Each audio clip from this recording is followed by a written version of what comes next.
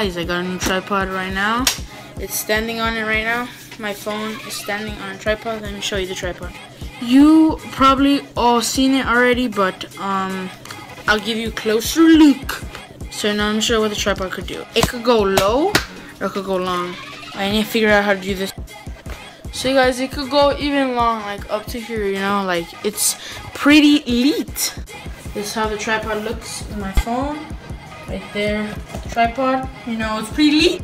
And for you guys out there on my school, I'm gonna be in the seventh grade talent show. I'm gonna submit my video to seventhgradeskills.com. So you're gonna see my video either on Monday or Tuesday, right?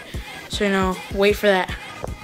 Guys, and now I think with a tripod, my vlog's gonna be better. I could do like this vlog. You guys are gonna do it right here in the center vlog. Right here, right here low, like it's pretty dumb, but I think here in the center is pretty lit, you know? Guys, and I'm sorry for the ones that say, ooh, do your vlogs are too short. I'm sorry, you guys. I'll try to make it at least 10 minutes, right? So, yeah. I think that's it, guys. I got a tripod. I'm entering the 7th grade talent show. Um, this tripod's lit. Guys, how many times have I said lit in the video? Comment down below. And it's been Skilla and peace. Cue the outro!